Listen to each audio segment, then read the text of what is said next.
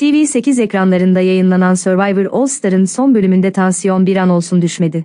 Erkek yarışmacıların birbirine girdiği yarışmada Pınar, Sema ve Seda arasında da tartışma çıktı. Dokunulmazlık oyununda seçme yapıldığı esnada yarışmaya sonradan dahil olan Sema'ya tepki gösteren Pınar, teyze, kafana bir tane şuraya fiyonk bağlayalım, Loğusa yatağından çıkmış gelmişsin dedi.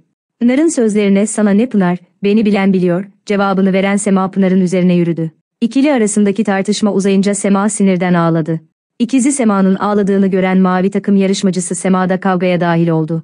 İkizine bağıran Pınar'a bağırarak üstüne koşan Seda'yı yarışmacılar tutmakta zorlandı.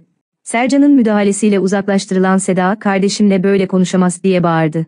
İkizinin yanına giden Seda, Pınar için ben ona göstereceğim. Bakalım nasıl yarışmacıymış çıksın benim karşıma göstersin. O senin 20 günde roket gibi olacağını bildiği için seçme yapmanı istemiyor.